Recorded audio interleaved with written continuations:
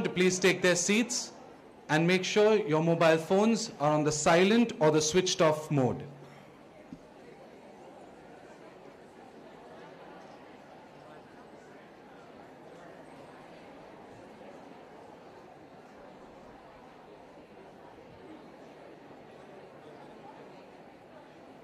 One man, a true legend and a man ahead of his time. The journey of this legendary stalwart began in a small Sindh village of present day Pakistan and then pre independent India. He was born to a very poor family with limited resources, but an iron will to study and educate himself and be a success in all that he has ventured to. The Hyderabad Sindh National Collegiate Board pays tribute to its patron trustee, Dr. L.H. Hiranandani. We welcome you all today for the first Dr. L.H. Hiranandani Memorial Lecture Series, which will be delivered by Dr. Shashi Tharoor, our Minister of State for Human Resource Development. Before we move on, we'd like to show you some audio visuals on the Hyderabad Sindh Board, Dr. L.H. and Dr. Tharoor.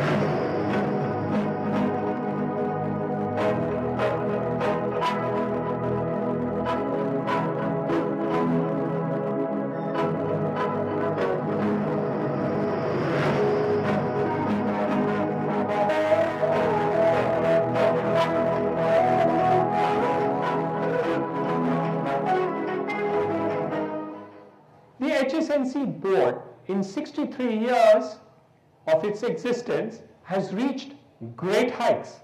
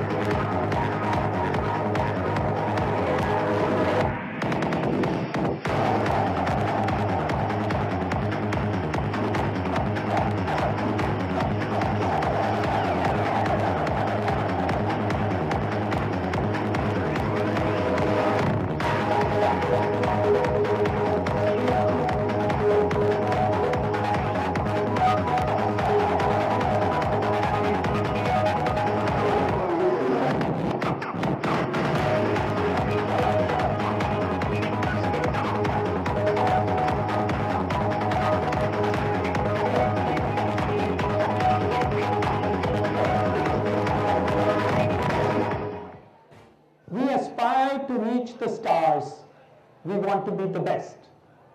We want to develop not only the infrastructure, but also the academics. We want to research.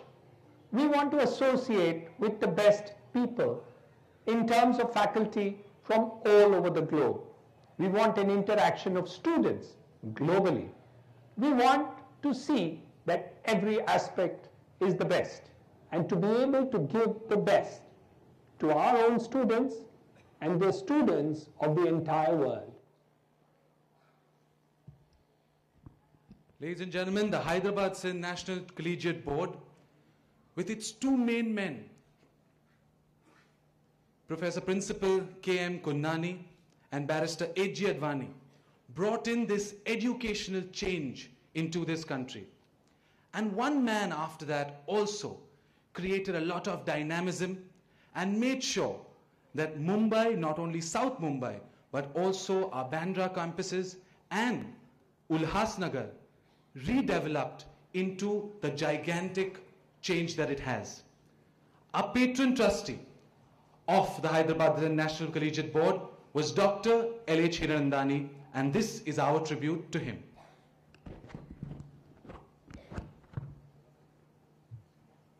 please take their seats and make sure your mobile phones are on the silent or the switched off mode.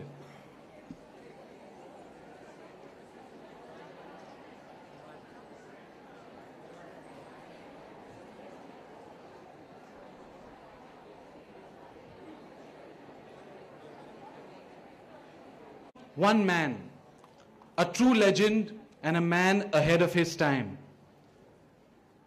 The journey of this legendary stalwart began in a small Sindh village of present day Pakistan and then pre independent India.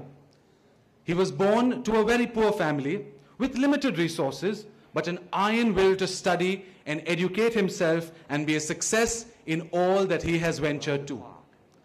The Hyderabad Sindh National Collegiate Board pays tribute to its patron trustee, Dr. L.H. Hiranandani. We welcome you all today for the first Dr. L.H. Hiranandani Memorial Lecture Series, which will be delivered by Dr. Shashi Tharoor, our Minister of State for Human Resource Development. Before we move on, we'd like to show you some audio visuals on the Hyderabad Sindh Board, Dr. L.H. and Dr. Tharoor.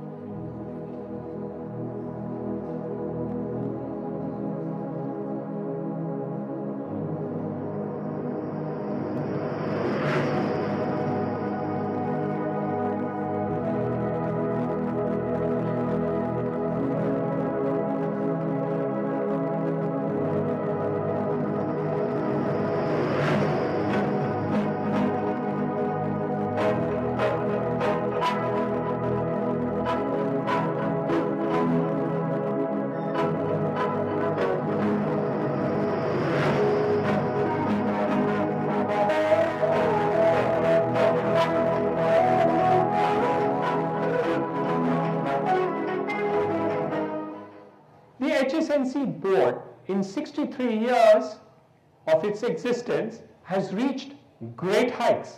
Memorial lecture is none other than Dr. Shashi Tharoor. As an Indian, and now as a politician and a government minister, I've become rather concerned about the, the hype we're hearing about our own country. All this talk about India becoming a world leader, even the next superpower. In fact, the American publishers of my book, The Elephant, the Tiger, and the Cell Phone, added a gratuitous subtitle saying, India, the next 21st century power. And I just don't think that's what India is all about, or should be all about.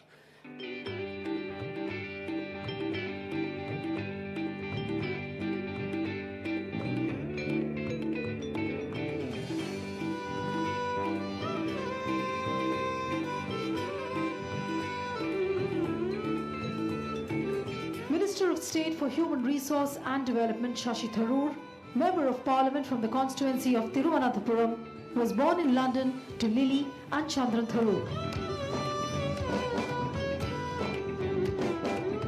worries me is, you know, the entire notion of world leadership seems to me terribly archaic. It's redolent of you know, James Bond movies and Kipling ballads. After all, what constitutes a world leader? If it's population, we're on course to top the charts. We will overtake China by 2034. Is it military strength? Well, we have the world's fourth largest army. Is it nuclear capacity? We know we have that. The Americans have even recognized it uh, in an agreement. Um, is it the economy? Well, we have now the fifth largest economy in the world in purchasing power parity terms, and we continue to grow. When the rest of the world took a beating last year, we grew at 6.7%. After his parents returned to India, he began his schooling at Montfort School in Yercaud, Tamil Nadu and Campion School in Mumbai. Tharoor subsequently obtained a bachelor's degree from St. Stephen's College in Delhi and then pursued graduate studies at Fletcher School of Law and Diplomacy at Tufts University, from where he obtained an MA, MALD and a PhD in 1979 at the age of 23. But somehow none of that adds up to me to what I think India really can aim to contribute in the world uh, in, the, in this part of the 21st century. And so I wonder could what the future beckons for India be all about be a combination of these things allied to something else the power of example, the attraction of India's culture. What, in other words, people like to call soft power. Shashi Tharoor's career in the United Nations began in 1978 as a staff member of the UN High Commissioner for Refugees in Geneva. From 1981 to 1984, he headed the UNHCR office in Singapore during the boat people crisis. Until 2007, he was a career official at the United Nations, rising to Under Secretary General for Communications and Public Information. After his entry into politics in 2009, he served as a Minister of State for External Affairs. Somebody said, you know, we are super poor and we're also super power. We can't really be both of those. We have to overcome our poverty. We have to deal with the hardware of development, the ports, the roads, the airports, the, all the infrastructural things we need to do, and the software of development, the human capital, the, the, the need for the ordinary person in India to be able to have a couple of square meals a day, to be able to send his or her children to a decent school, and to aspire to work a job that will give them opportunities in their lives that can transform themselves. But it's all taking place, this great adventure of conquering those challenges, those real challenges which none of us can pretend don't exist. But it's all taking place in an open society, in a rich and diverse and plural civilization, in one that is determined to liberate and fulfill the creative energies of its people.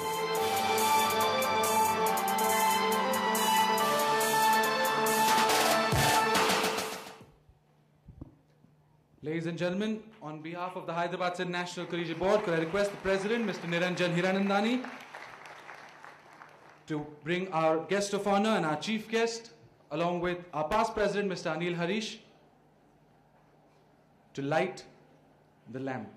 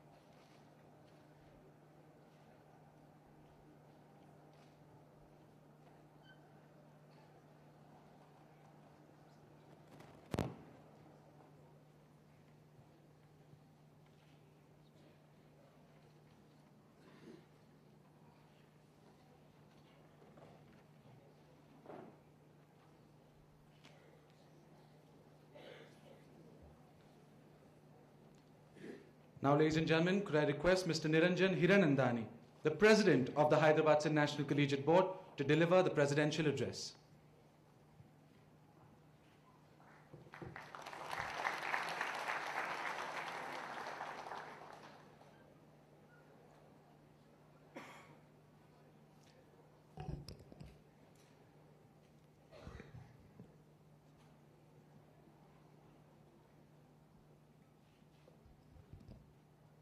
Today is a day of great celebration. We have an occasion which is to remember the memory of my father, and we have a wonderful friend, a wonderful leader, a guiding light, a person who has, at the top of his career, come back to this country. From being the Under Secretary General of the United Nations as a career diplomat over there, came back and fought the elections. As a young leader, went to Kerala and came back to lead this country into making that change. Sir, I am extremely honored to welcome you here today to hear the first lecture of the Dr. L.H. Hiranandani Memorial Series lecture. And as we already saw his introduction, the man leaves us speechless. The man has the knowledge of writing multiple books. He writes columns. And he makes that difference in what he writes because he agrees with what the reality on the ground is. While we are intellectuals and recognized as such, not only in India but all over the world, he understands that need to address what he said was poverty. Poverty of the mind, poverty in terms of the pocket, different types of poverty. But once you learn to accept the reality of today, that is the man who will make the change tomorrow. And I'm glad and proud that he comes from my alma mater, Campion School. So, sir, welcome you back from our Campion School and into Mumbai again. Thank you very much, Mrs. Sunanda, for joining us here today. We are really honored that you are here with us and gives us great pleasure to welcome you here today also. Rajan Welukar, how can I say thank you to you, sir? Heading the University of Mumbai as the Vice Chancellor, you have made that paradigm change which makes us proud to feel that this university is ours. Sir, we have 17 colleges under your leadership in this university with 45,000 students, but you have been a guide and help second to none. And I cannot thank you enough for what you have done. So, sir, welcome over here for being here in our presence and actually coming to our need and help whenever we have asked you for. Thank you, thank you so much for so many things which you have done. I cannot possibly list all those things over here today, but thank you and welcome, sir. Anil Harish has been a trustee and the past president of our board. He's, he and his father had been close to my family and to this board and really committed to the ideals of what we mean in this board. I have to also thank the board members, the principals, the vice principals, teachers, dignitaries, guests, and friends, and of course, my worthy students. Welcome to this wonderful program which will leave you speechless. I want to add two other things. The first, the challenge, the history and tradition of what we did yesterday. In the last so many years, our board has had great achievements, sir. We have 17 colleges, we have a history of excellence, we have produced great students, they have achieved great ideals, they have been part and integration into society. They have done so many things that we are all proud, both in the academic side as well as the non-academic side. And I think our students, we can be proud that our students have been made into great citizens of the city of Mumbai and the country of India. But as we all know, change is a necessary ingredient of progress. And we have to look forward to what these changes are going to bring about. The changes need new ideas, new thoughts, and new concepts of ideas that we need to bring about in education. Take one example, for instance. Half the engineering colleges in Maharashtra do not have students. And while students do not have enough seats to get into colleges, it's a dichotomy, sir, we have to address. And I have to thank Mr. Dr. Shashi Tharoor and the HRD ministry for the new changes that are being brought about. And this is the field of skill development. That is a change which his government, his ministry has brought about in great measure. And, sir, I want to say that we are a small part of that idea and progress that we have. Your ministry has communicated to us just two days ago that they have agreed that we should start the community college in this academic year. This is the first time I've ever heard that you start a college in this academic year. It never happens, 2013 14. I mean, normally it's always next year or the year after that, and you know, before that, 100 approvals come in before it's done. But yesterday, sir, we have received from your uh, ministry a letter stating that we will start the community college in this. It is my personal belief, sir, that I support these ideas which have come in, and we will, I think, in the next decade, have as many students in skill development as we have in the normal courses. So my target is really that in the next 10 years, we should have 45,000 students in skill development, which I believe is equally the need of this country. And we need to make that necessary difference, which you have already set leadership to. I would bore you if I continued to talk to you. Because we have somebody so wonderful to hear. So, ladies and gentlemen, let me welcome the wonderful creator. Thank you very much for coming to us, sir. And uh, may I have Hoshang to please take over? Thank you. Thank you so much, Mr. Hiranandani. Could I please request you to give a token of appreciation to our chief guest, Dr. Shashi Tharoor?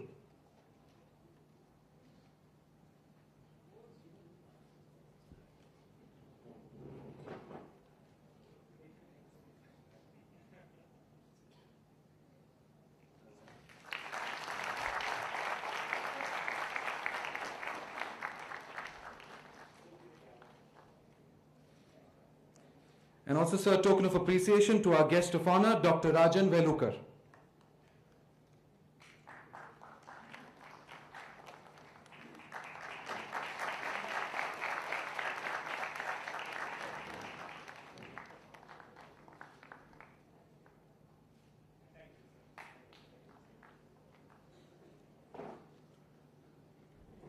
Dr. L.H. Hiranandani was the patron trustee of the Hyderabad Sindh Board.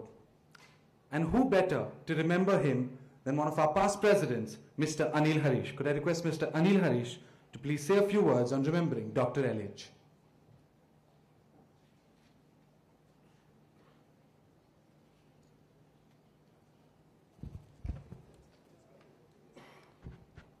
Ladies and gentlemen, on the occasion of this, the first Dr. L.H. Hiranandani Memorial Lecture, I am very glad that we have with us a great orator and distinguished personality, Dr. Shashi Tharoor, Minister of State for Human Resource Development. Dr. L.H. Hiranandani was an extraordinary human being with immense passion and boundless compassion. The world is full of people who are competent and educated and who have excelled in their careers, who have risen above their circumstances and secured their family fortunes. Such achievers, no doubt, are the backbone of any society. But the life force of any nation are those few who look beyond their own lives, step out of their comfort zones, and involve themselves with larger humanitarian causes and are willing to make a sacrifice for bettering the lives of others. Dr. Hiranandani was one such towering personality. His passion was not for collecting art or fancy cars, but it was a fashion, it was a passion for upholding ethics in the medical profession, of which he was a very distinguished member, and a passion for helping others in every way, and a passion for providing educational opportunities to as many people as possible. It is fascinating to read about the meteoric rise of this young lad from a humble background from Sindh who came to Mumbai to study medicine. So impressed were his teachers at Topiwala Medical College with his dedication and hard work that they helped him financially to send him abroad. This young doctor completely vindicated the faith that his teachers reposed in him, and he came back to set up a full fledged ENT department in the Topiwala Medical College. In the course of his career, he also pioneered several innovative operating techniques and procedures which are globally recognized as the Hiranandani operations. For his outstanding contribution to medicine, he received numerous awards, the crowning glory being the Padma Bhushan in the year 1972. He was the first Indian to receive the Golden Award from the International Federation of Otolaryngology. His achievements in his profession was, were indeed encyclopedic. However, what is inspirational for all of us was his consuming passion to ensure that the poor defenseless person was protected. In 1973, when parts of rural Maharashtra suffered a severe drought, he actually suspended his thriving private practice to work compassionately in the interiors for eight months to bring succor and to alleviate the suffering of the people. In 1993, he involved himself fully in the riot affected areas of Mumbai. At the same time, he was deeply affected by the accounts of poor people being exploited and lured to part with their kidneys for meager sums of money.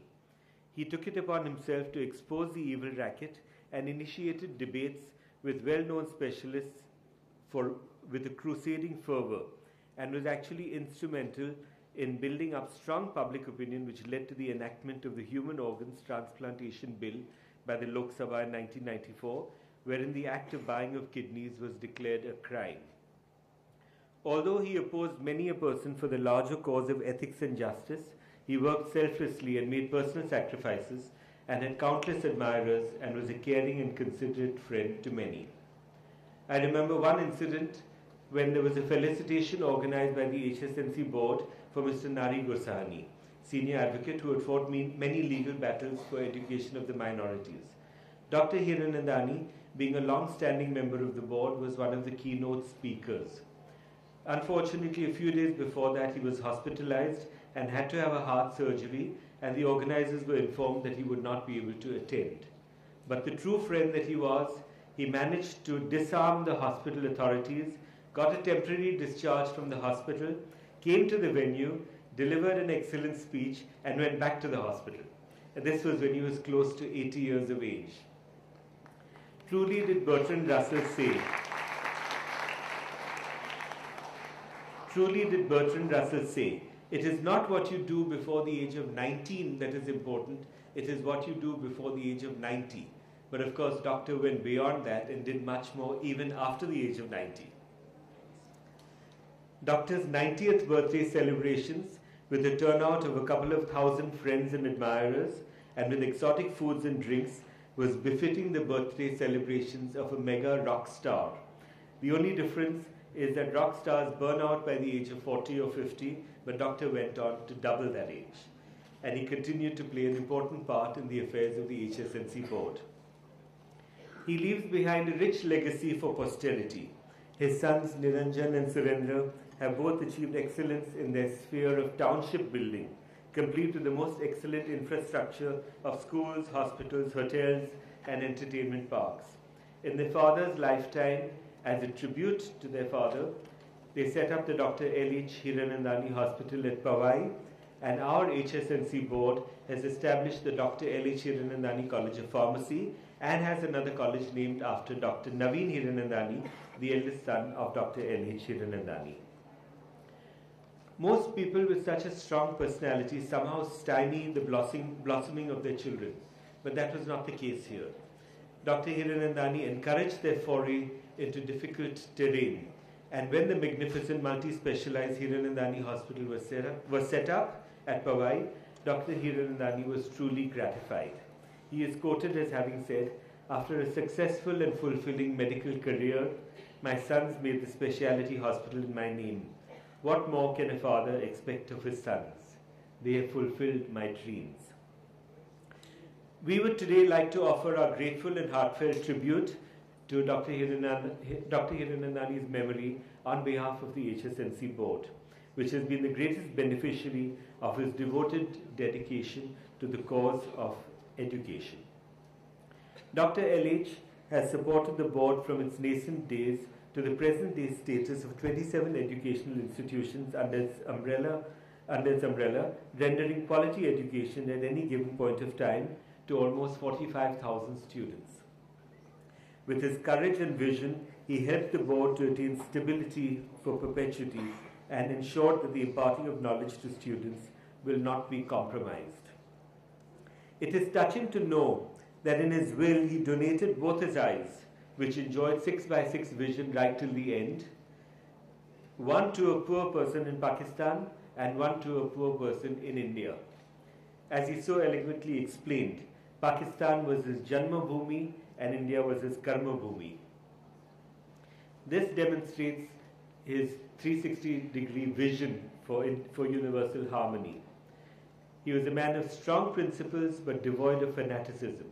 Today, when the country is prey to so many divisive and pernicious forces, it is the duty of all those who had the privilege of knowing Dr. Hiranandani and for the students of these colleges to emulate his example, to carry forward his idealism, to speak out against malpractices, to get involved in larger causes, and to protect those who are vulnerable.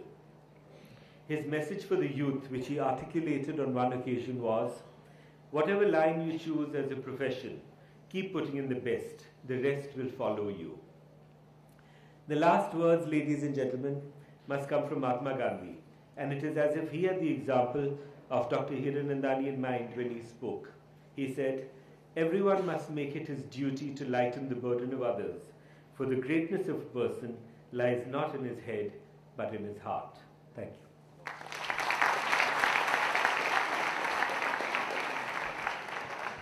Thank you so much, Mr. Harish, for very eloquently remembering Dr. LH.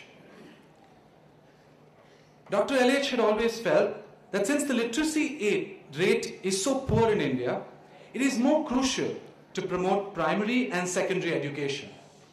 He was appointed a member of the advisory committee by the government of India for opening of private medical colleges in Maharashtra. Through his effort, 14 private medical colleges were created he got the retirement age of teachers upgraded from 58 to 65. Then the government of Maharashtra had nominated him in 1991 as the executive member of the University of Mumbai. Ladies and gentlemen, now we have Dr. Rajan Welukar, the Vice Chancellor of the University, to speak to us about the University and Dr. LH.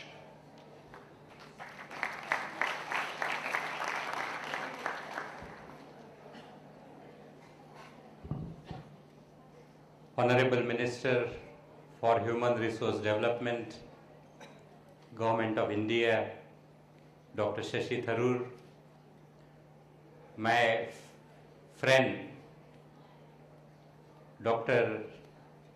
Niranjan Hiranandani, Shri Anil Harish, guests, Mrs. Tharoor, teachers, and my dearest young student friends.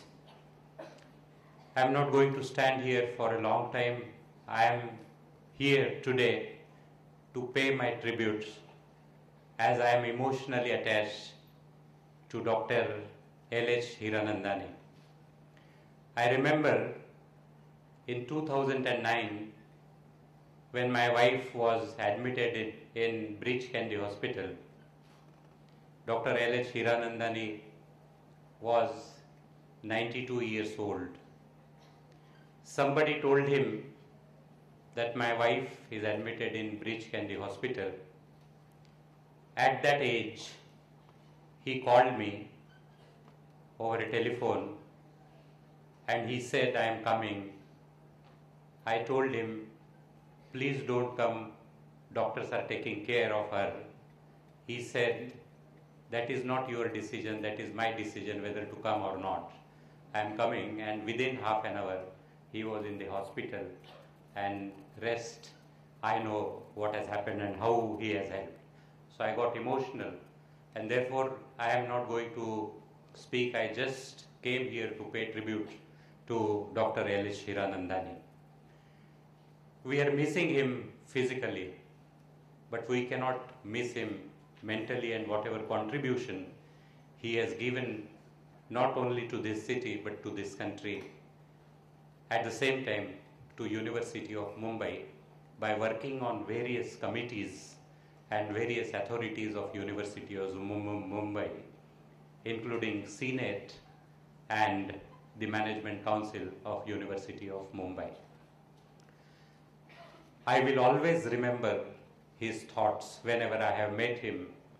I got so much of knowledge and so many ideas which he has given to me, which I am trying to implement in University of Mumbai.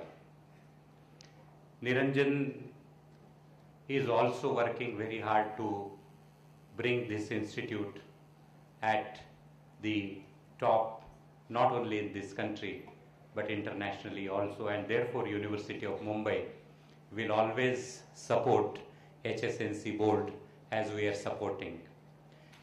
I must thank the Honorable Minister for granting permission of community college to HSNC board and University of Mumbai also will support to start the community college in this very year provided you submit the application within uh, 10 days because we have the management council and we have to take it before them and take a decision. I am sure you will uh, apply to us and we give you the permission. In fact, University of Mumbai is the first university in the country to start four community colleges with the help of industry year before last. Hindustan Coca-Cola Beverages Limited came forward and then we have established four community colleges uh, and they are working very well after 12th. There are many community colleges in this country but they are not after 12th.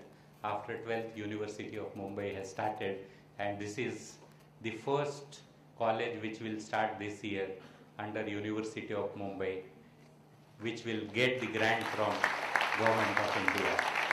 So thank you very much. Of course, there are so many things which uh, I would like to uh, have a discussion with the Honorable Minister, which I will of course have after this. And I do not want to stand between the Honorable Minister and all of you. I must thank uh, Mr. Niranjan Hiranandani for inviting me here to meet the Honorable Minister. Thank you. Thank you very much. Thank you so much, Dr. Welukar. An author, a United Nations peacekeeper, a refugee worker, a human rights activist, Minister of State for Human Resource Development, an elected member of parliament from Thiruvananthapuram, Dr. Shashi Tharoor has had a lot of exposure in India and internationally.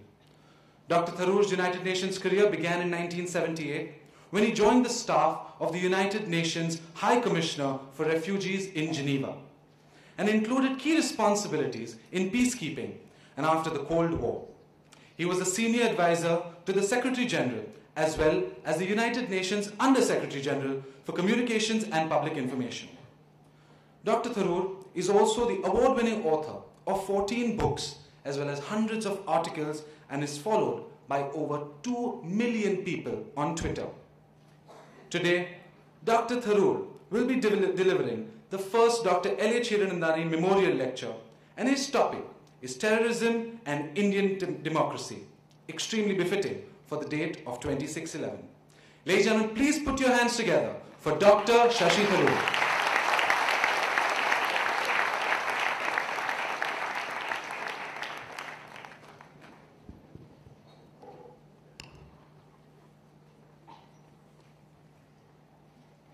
My good friend and senior at Campion School, Mr. Niranjan Hiranandani, Dr. Rajan Welukar, Vice Chancellor at Mumbai University, Mr. Anil Harish, Ms. Manju Nichani, Principal of KC College, distinguished members of the audience, teachers, students, friends. I hope that covers everybody.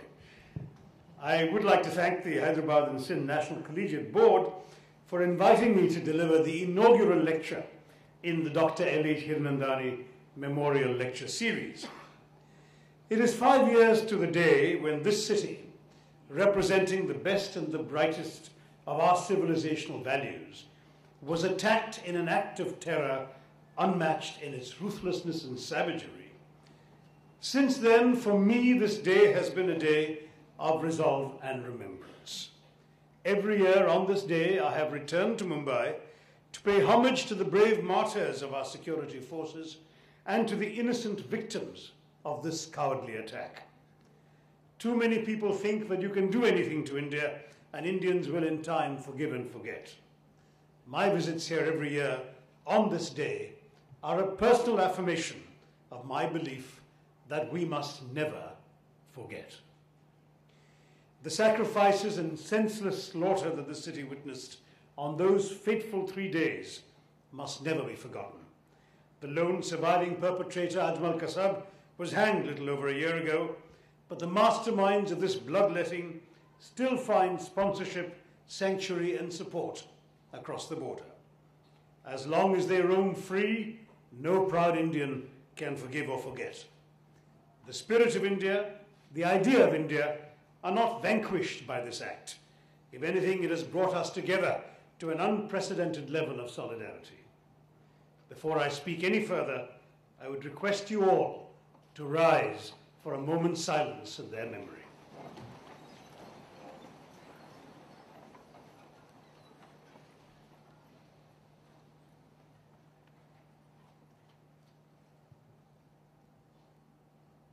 Thank you.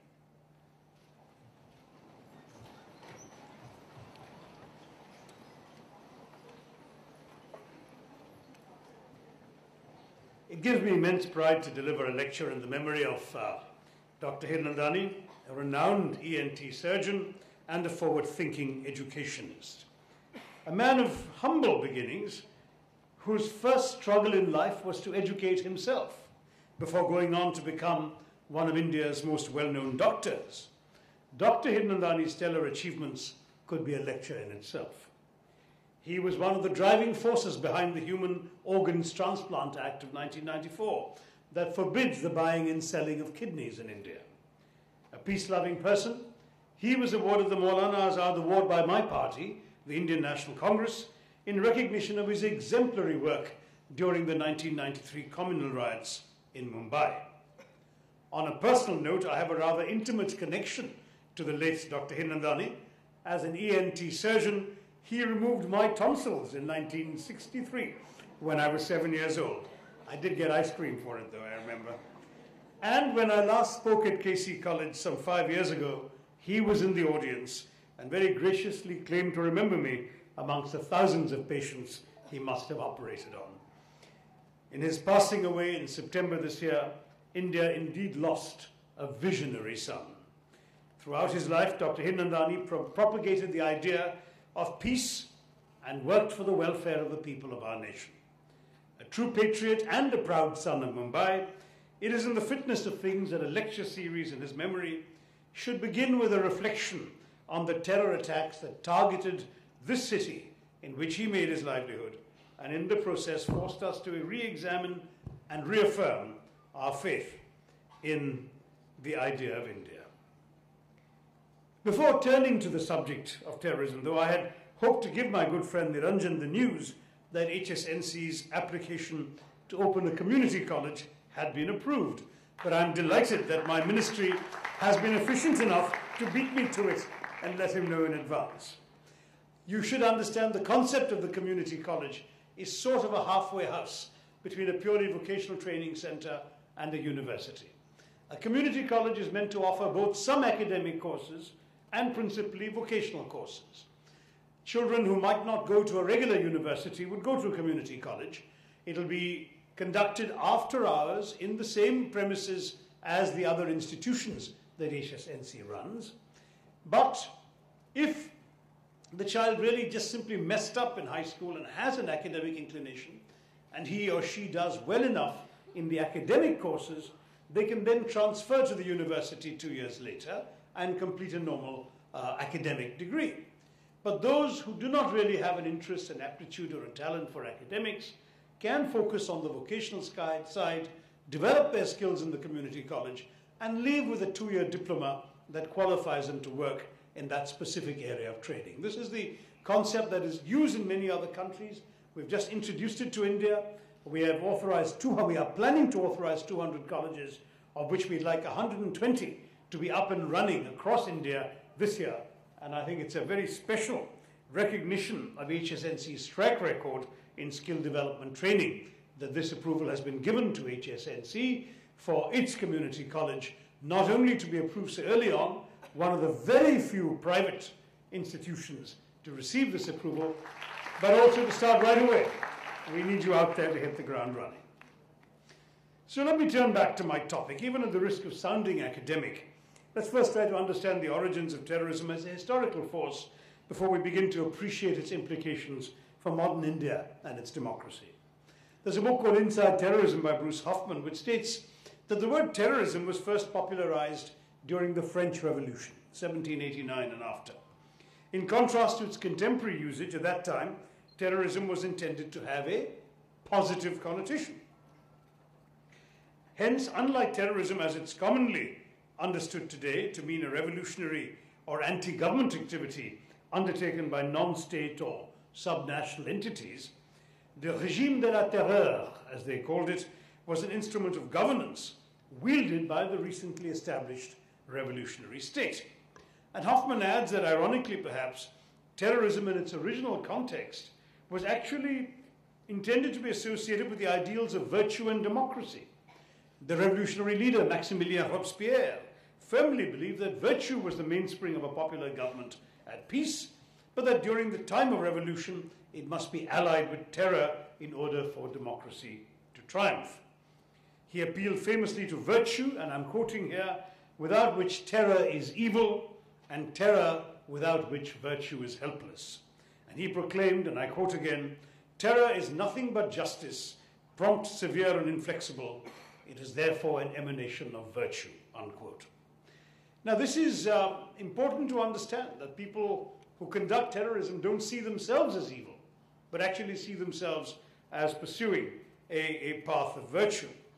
Hoffman states that despite this divergence from its subsequent meaning, the French Revolution's terrorism still shared at least two key characteristics in common with its modern day variant. First, the régime de la terreur was neither random nor indiscriminate, as terrorism is often portrayed today. It was organized, deliberate, and systematic. Second, its goal and its very justification, like that of contemporary terrorism, was the creation of a new and better society, in place of what it proclaimed as a fundamentally corrupt and undemocratic political system, an ideology not dissimilar to the rabid utopia, uh, utopias proclaimed by Hafiz Saeed and his ilk. Indeed, Robespierre's vague and utopian pronouncements about the revolution's central goals are remarkably similar in tone and content to the equally turgid millenarian manifestos issued by many contemporary terrorist organizations. Whether it's the jihadis of the LET and Al Qaeda, whether it's the Maoists, whether it's the LTTE in Sri Lanka, while the specific grievances of different movements may vary a great deal, they share common strands of self righteous rage, violent tactics, and utopian delusion. Democratic societies, including India's, must understand this pathology before they begin to formulate a response against this menace that is firmly grounded in their own civilizational ethos and constitutional values. Academic understanding aside, for most Indians, terrorism was defined in blood on the night of this fateful day five years ago.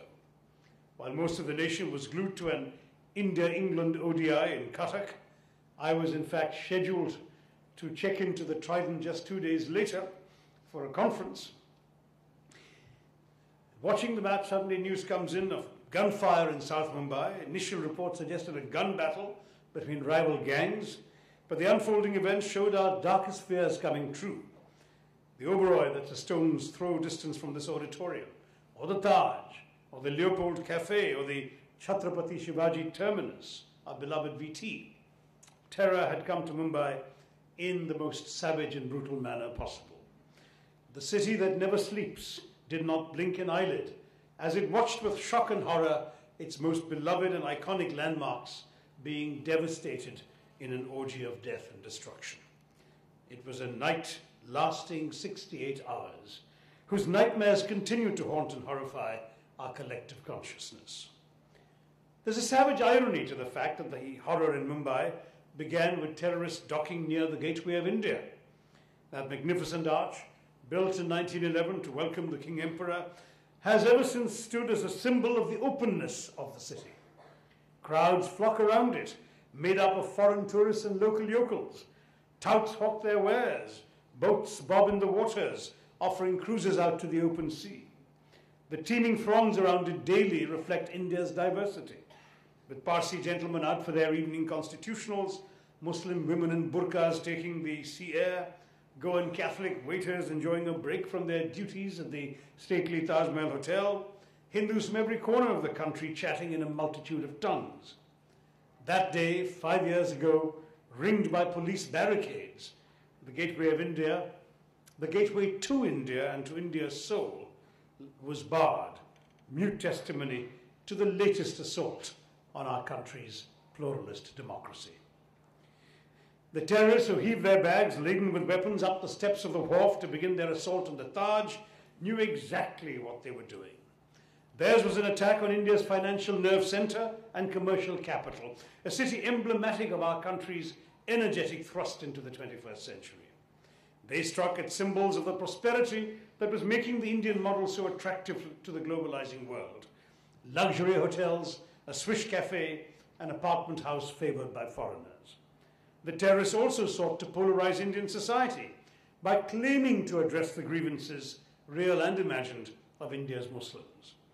And by singling out Britons, Americans, and Israelis for special attention, they demonstrated that their brand of Islamist fanaticism is anchored less in the absolutism of pure faith than in the geopolitics of hatred.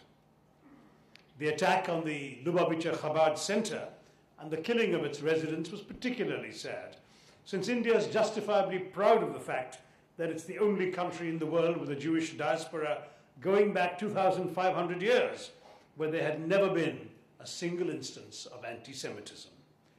This was the first time it was unsafe to be Jewish in India. One more proof that the terror was not homegrown.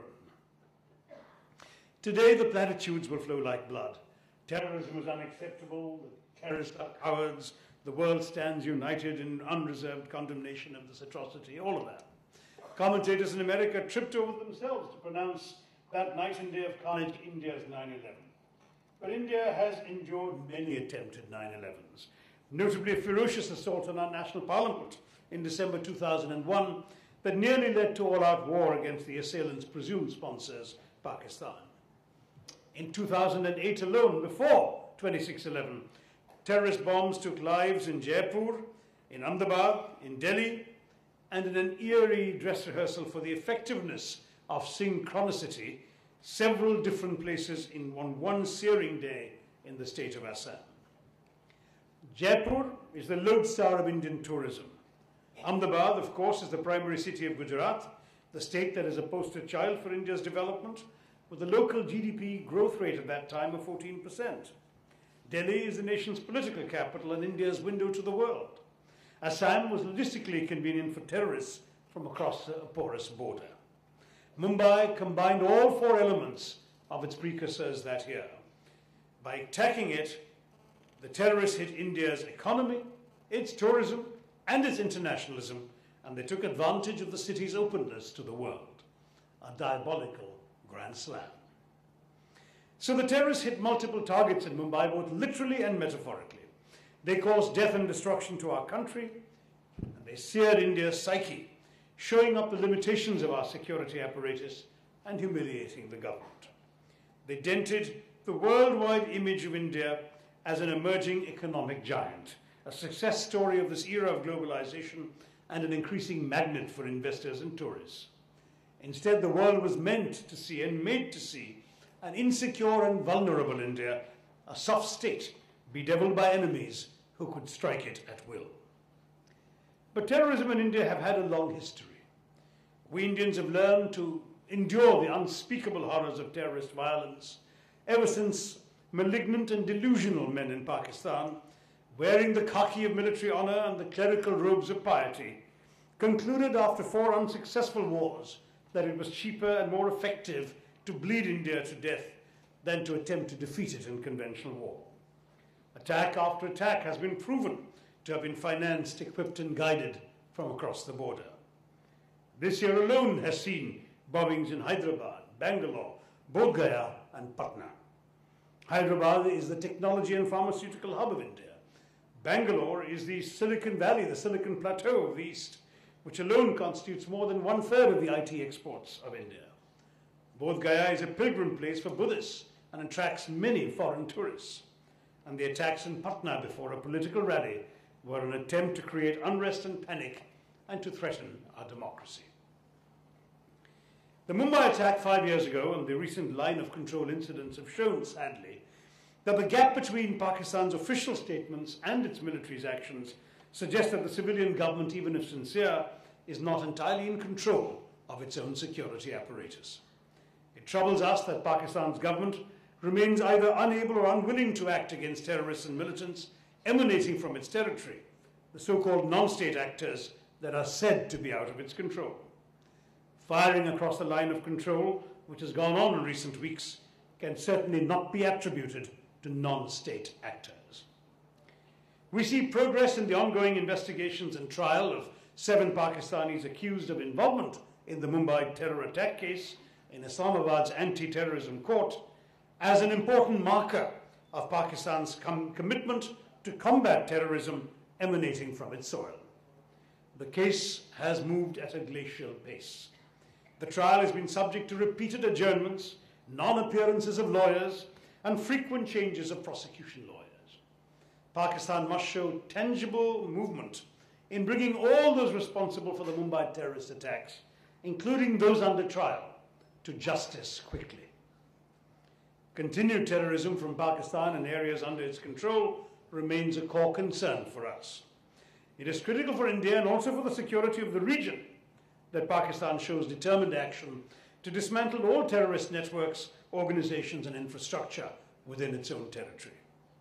Pakistan must also uphold the sanctity of the line of control, which is the most important confidence building measure between the two countries.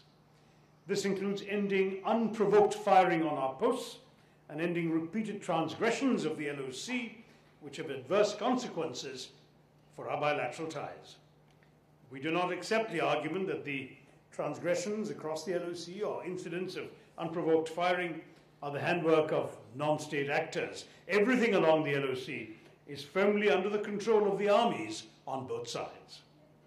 Yet, despite these continuous provocations, India's government remains committed to peace. We do so not because of any external compulsion or internal weakness, but because it is in our history, our culture, and in our embrace of a constitutional, pluralist, democratic system of governance to do so. The unscrupulous and unrestricted use of violence is not an instrument of state policy in India, as it seems to be across the border. A tit for tat policy, as advocated by the more short sighted and hot headed elements in our society, neither serves our long term national interests nor attains the more immediate and urgent objective of stopping terror attacks. Resilience, vigilance, and patience, these are the vital ingredients in any successful democratic response to cross border and home- homegrown terror. Those who dream of bleeding India dry through a thousand cuts will drown in their own hatred before our great nation runs out of either blood or spirit.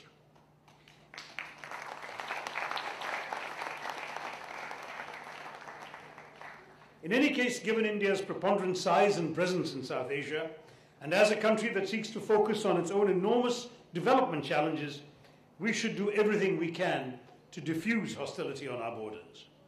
Not talking to Pakistan is not much of a policy. It has been tried for years, yielding no significant benefit.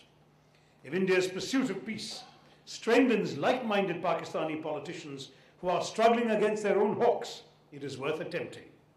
The benefits of peace for both sides would be enormous. But India has always been a status quo power that wishes to live in peace, while Pakistan, craving Kashmir, uses every means at its disposal to alter the status quo. We in India are committed to resolving all outstanding issues with Pakistan, including the issue of Jammu and Kashmir, through bilateral dialogue on the basis of a Simla Agreement, for which there needs to be an environment free from terror and violence. India has long been in favor of placing the Kashmir dispute on the back burner and promoting trade, travel, tourism, the rest. It is Pakistan that has taken the view that there cannot be normal relations with India until Kashmir is settled on terms acceptable to Islamabad. Unless Pakistani peacemakers are willing to advocate a policy of across the board engagement with India, despite the lack of a solution to the Kashmir dispute, our progress will remain halting and limited. Friendship has to be built on a shared perception of the danger of terrorism to both states, of a sincere acceptance by the Pakistani military establishment that those who attacked the Taj in Mumbai are just as much their enemies as those who bombed the Marriott in Islamabad. This would require more than fuzzy words from civilian politicians. It needs genuine cooperation from all Pakistani authorities, including useful information